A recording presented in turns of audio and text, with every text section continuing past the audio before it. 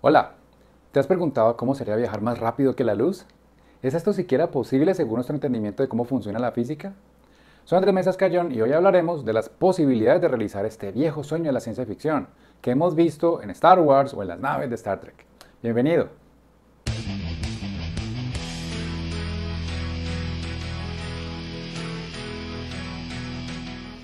En un video anterior hablábamos de los retos que debemos afrontar para llegar a las estrellas con nuestra tecnología actual, como el combustible necesario, el tiempo que tomaría, la necesidad de frenar llegando a destino o la imposibilidad de viajar más rápido que la luz.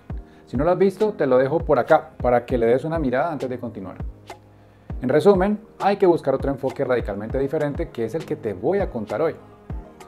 Todo radica en lo que entendemos como espacio-tiempo.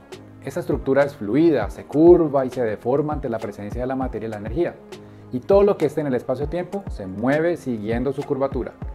Lo más rápido que se puede dar ese movimiento es a la velocidad de la luz, ya sean cometas, naves espaciales, ondas de radio, la gravedad y evidentemente la luz. Si no has visto el video con la explicación detallada del espacio-tiempo, por acá te lo dejo. Ahora sí, el principal problema con los viajes espaciales es que todo queda tan lejos que ni siquiera una nave capaz de viajar a la velocidad de la luz sería suficiente para hacer que la exploración espacial sea algo práctico. Al final del día, lo que queremos es poder viajar mucho más rápido que la luz, para que visitar las estrellas más cercanas sea cuestión de días y no de miles de años. En la ciencia ficción tenemos el referente de Star Trek. En la película First Contact, un ingeniero llamado Zefram Cochrane inventó en 2063 el motor de distorsión, o warp en inglés. Como su nombre lo sugiere, este motor warp crea una burbuja alrededor de la nave que distorsiona el espacio-tiempo alrededor y genera el efecto aparente de que está moviéndose a velocidades mucho mayores que la de la luz. Como combustible, las naves del universo de Star Trek usan materia y antimateria, que al interactuar generan el plasma warp que crea la burbuja. Pero bueno, al final del día esto no es más que ciencia ficción y nada tiene que ver con nuestros vuelos espaciales de verdad. ¿O de pronto sí?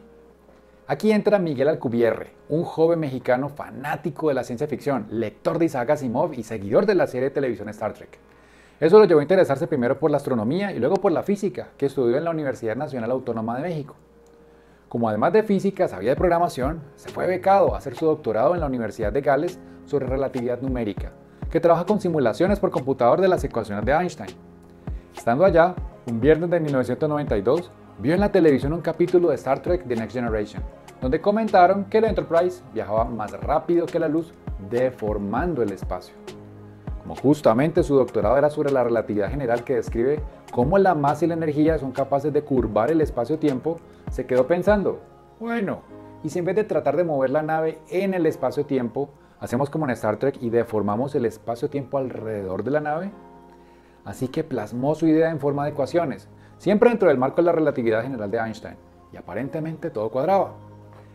Alcubierre estaba tan emocionado que madrugó al otro día para ir a la oficina, a pesar de que nunca iba los sábados.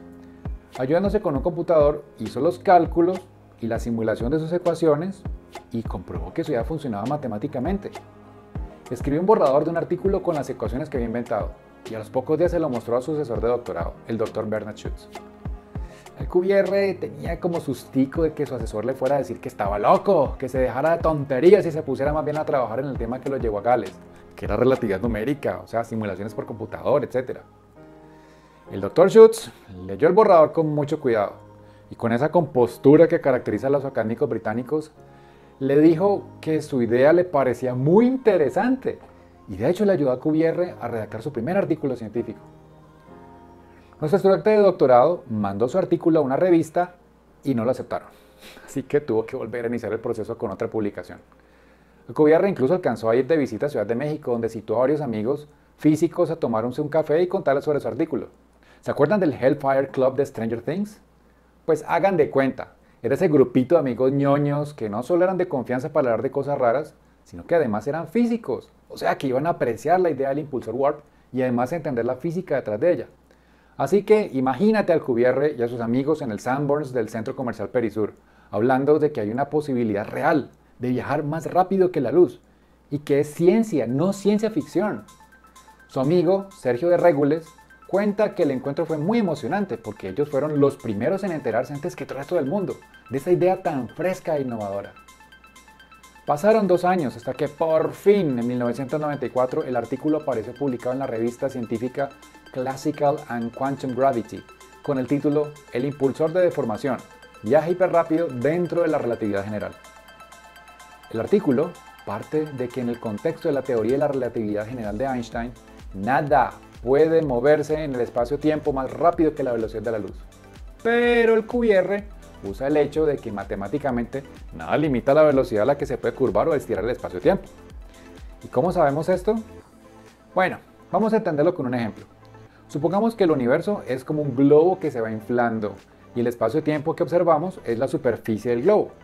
La velocidad a la que se infla ha ido disminuyendo con el tiempo, pero al principio, poco después de la gran explosión, la velocidad a la que se hinchaba el globo era tan rápida que las estrellas se separaban unas de otras a una velocidad muy superior a la de la luz. Ojo, no estamos diciendo que las estrellas se estuvieran moviendo porque estaban relativamente fijas en su posición inicial en la superficie del globo, sino que el espacio que las separaba se hinchaba tan rápido que un observador desprevenido le hubiera parecido que todas las estrellas a su alrededor se alejaban más rápido que la luz. Entonces, ya sabiendo que el truco para vencer a la velocidad de la luz está en aprovechar que no hay límite para estirar o contraer el espacio-tiempo, el artículo habla de crear una deformación en el espacio-tiempo alrededor de la nave, o burbuja. Este último término fue tomado de la serie Star Trek e inspiró directamente al QBR para conseguir su propuesta, por lo que un hipotético motor que use este principio también se le conoce como impulsor warp. La burbuja se generaría con energía negativa, que recuerda un poco a la antimateria usada en el reactor warp de Star Trek. Además, para que la burbuja se mueva, se necesita deformar el espacio-tiempo detrás de la nave para que se estire, mientras que se deforma delante de la nave para comprimirlo. Por eso, una nave de este tipo no sufriría los efectos de la aceleración y la dilatación temporal característica de velocidades cercanas a la de la luz, ya que dentro de la burbuja todo estaría inmóvil. En otras palabras, es como cuando un surfista permite que una ola lo arrastre mucho más rápido de lo que él jamás podría remar. Lo que se está deformando es el agua alrededor del surfista, mientras que él estaría de pie, quieto en su tabla, otra particularidad de este tipo de nave es que tendría un generador delante para comprimir el espacio-tiempo y otro atrás para estirar, lo que le da los dos característicos anillos en propuestas como esta del diseñador Mark Rademacher. Entonces, si ya está el diseño, no falta casi nada para que la nave salga a producción, ¿verdad? Lamentablemente, el artículo reconoce que hay varios retos que superar antes de que podamos tener un motor real que use el principio del impulsor al QBR. El primero de ellos es la energía, la cantidad de energía negativa que se necesita es tan absurdamente gigantesca que no es práctico para mover una navecita. Por otra parte, esta energía negativa no ha sido observada y tal vez ni siquiera exista o no se pueda generar ni siquiera con antimateria. Sin embargo, este artículo del mexicano sentó el precedente para que otros físicos hicieran la misma pregunta de qué se necesita para deformar el espacio-tiempo para superar la barrera de la velocidad de la luz causando un efecto perdurable en la comunidad científica. Hasta la fecha, el artículo original ha sido citado por más de 700 artículos y libros científicos, mientras que el concepto del impulsor warp creado por el QBR ha sido examinado, criticado y expandido en más de 900 publicaciones. Entre lo que han elaborado otros físicos sobre esta idea del QBR está que la necesidad de energía se reduce considerablemente trabajando con un anillo warp en vez de una burbuja warp pero de todos modos sigue siendo demasiada energía como para siquiera considerarlo. Otros científicos que se han tomado en serio la idea plantean que el desplazamiento a velocidades mayores que la de la luz sometería a los tripulantes de la nave a radiaciones letales. También que al momento de frenar, las partículas recogidas durante el viaje se liberarían con una fuerza tan destructiva que ninguna nave de este tipo sería bienvenida. Sin embargo, estos son retos de ingeniería que posiblemente puedan ser resueltos más adelante con avances tecnológicos y científicos que todavía no vislumbramos. El propio QBR reconoció que una cosa es haber descubierto qué clase de deformación del espacio-tiempo se necesita para permitir esta forma de desplazamiento warp, pero otra muy distinta es desarrollar la tecnología para generar dicha deformación. Es algo parecido a lo que le pasó a Leonardo da Vinci. Él entendía el principio físico que permite que una hélice girando rápidamente se eleve del suelo, algo que llamó el tornillo aéreo. Pero en el siglo XV no tenía la tecnología necesaria para lograr que el invento de Leonardo pudiera girar lo suficientemente rápido. Tuvieron que pasar casi 500 años hasta que en 1928 el ingeniero aeronáutico español Juan de la Cierva pudiera integrar un motor de combustión interna lo suficientemente pequeño, ligero y rápido para desarrollar el autogiro, que es el precursor del helicóptero que conocemos hoy. Por eso, mientras se respeten las leyes de la física tal y como las concebimos, ideas como el impulsor al QBR podrían llevar a naves superlumínicas, es decir, que viajen más rápido que la luz. Tal vez ni siquiera seamos nosotros, sino una inteligencia artificial la que a base de simulaciones numéricas, como las que hicieron famosa el QBR, puedan encontrar la combinación correcta de tecnologías que nos abran la puerta de las estrellas. Bueno, ¿y qué pasó con el QBR? Pues que terminó su doctorado. En 1996 se fue a trabajar al Instituto Max Planck de Física Gravitacional en Alemania. En 2002 volvió a México a trabajar en el Instituto de Ciencias Nucleares de la UNAM, del cual fue director hasta 2020. En 2010 recibió la Medalla al Mérito en Ciencias y Artes otorgada por la Comisión de Ciencia y Tecnología de México. Ha hecho grandes contribuciones al modelamiento y simulación de colisiones entre hoyos negros.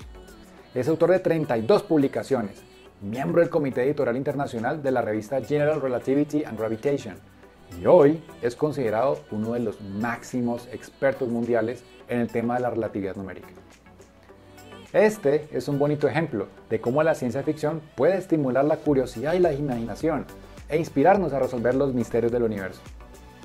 En conclusión, la respuesta al viaje más rápido que la luz parece estar en curvar el espacio-tiempo y no en optimizar nuestros métodos de propulsión para movernos en el espacio-tiempo. Sin embargo, la ciencia alrededor del impulsor warp de Alcubierre todavía está en pañales y posiblemente pasen siglos antes de que podamos llegar a ver una aplicación práctica, si es que la hay. A menos que recibamos inspiración de una inteligencia artificial o de otra fuente externa, de la que hablaremos en el siguiente video. Gracias.